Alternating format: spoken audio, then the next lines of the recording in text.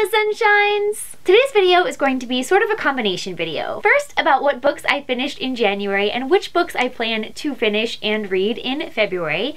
And secondly, about how reading is one of my personal forms of self-care. So first up, the books that I finished reading in January. I read three books in the month of January and they are in no particular order. You Gotta Get Bigger Dreams, My Life in Stories and Pictures by Alan Cumming. This is another one of Alan Cumming's memoirs, and it's sort of a peek behind the showbiz curtain. He talks about different events that he's gone to, working on different shows, and just sort of his life on the road as an actor. I listened to it on Audible, and it was narrated by Alan Cumming, so again, very delightful to listen to his beautiful accent. I would definitely recommend any of Alan Cumming's memoirs as a great place to dive in if you are not super hip with reading memoirs or nonfiction. They're very digestible and fun. The next book that I read in January is Talking as Fast as I Can from Gilmore Girls to Gilmore Girls by Lauren Graham. Lauren Graham narrates the audiobook, so similar to how Alan Cumming made his audiobook enjoyable by narrating it,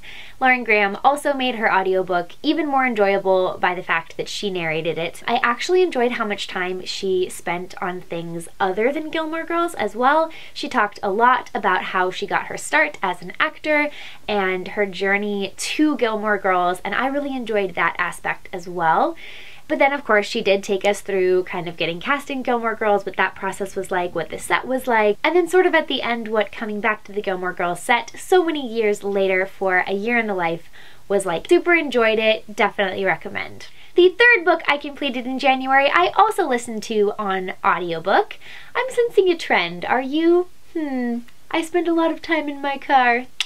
You would be correct. anyway, the third book I listened to in January is Northanger Abbey by Jane Austen. This is one of those Jane Austen books that I have just never read. I enjoy Jane Austen a whole heck of a lot. I super enjoy her perspective on people and the human condition. She captures Regency life in a really fascinating way. What I sort of loved about Northanger Abbey that I hadn't seen in any of Jane Austen's other books, her main character Catherine reads a lot of novels and loves novels and at that time in history, reading novels was sort of looked down upon. And there's this bit in the middle where Jane Austen breaks the fourth wall and goes on a tangent about novels and how novels are respectable, and I kind of laughed out loud at that part because I just loved that she went there and did that. This was a wonderful audiobook because Emma Thompson, Douglas Booth, Lily Cole are all a part of the cast who narrate this book. It's definitely put on as sort of an audio drama, and I really enjoyed listening to it this way. So those are the books I read in January and on to the books that I would like to finish reading and also read in the month of February. First up on this list is a book that I have started so long ago, The Dark Days Pact by Alison Goodman. This is the second book in the Dark Days Club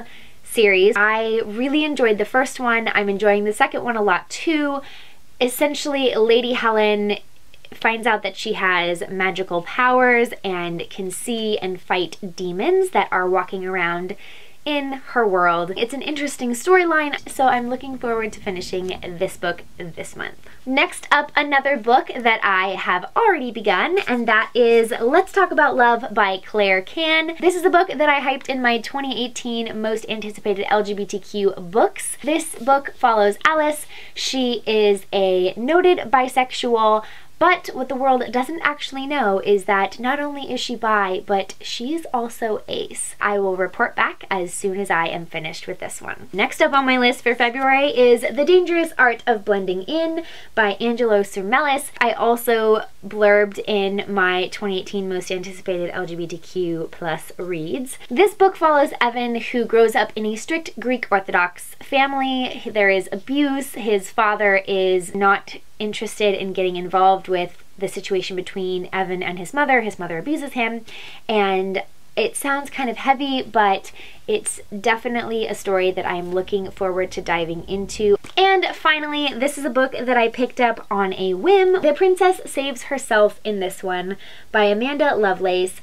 This is a collection of poetry. I haven't heard anyone talk about it though I think that a lot of people have. And the reason that I picked it up was because of the dedication. When I flipped open, that's the first page that I saw, and I'm to read it to you really quickly. For the boy who lived, thank you for inspiring me to be the girl who survived.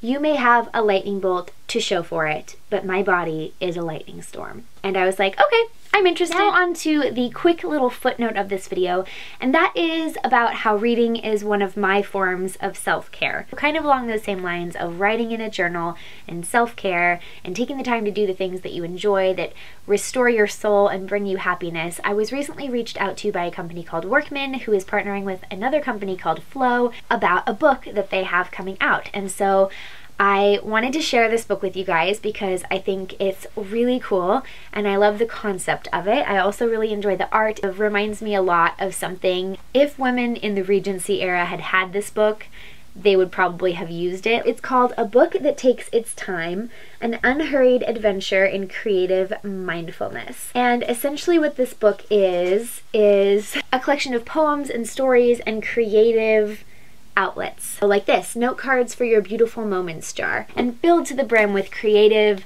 ways to express yourself and kind of slow down and take a moment to take the world around you in. They also sent me this book, which is another partnership book that they created called Everything Grows with Love, Beautiful Words and Inspiring Thoughts, and it's just a beautiful book filled with things like kindness is the new black, the smallest things warm the heart. It's filled with happy little quotes like that. A book that takes its time is available now, and Everything Grows with Love, Beautiful Words and Inspiring Thoughts will be out and available on Galentine's Day, February 13th. This felt special and creative eh, receiving it, and it's just a beautiful book to have. Alright, you guys, well, I hope you have a wonderful Galentine's Day and or a Valentine's Day, surrounded by people and experiences that you love. Don't forget to take some time for yourself to reset and to love yourself. It's something that I'm trying to be better about this year is just loving myself. And it is an exceptionally difficult journey sometimes that is uphill in both directions, but I'm trying and I encourage you guys to do the same because you can love as many people as you like, but if you don't start by loving yourself and filling up your own tank first, then you won't have a lot to give out and it can be really exhausting. So go out there, give yourself a great big hug, either physically or in the form of some creative outlet or something that brings you happiness and joy. And I will see you guys in my next video. Bye!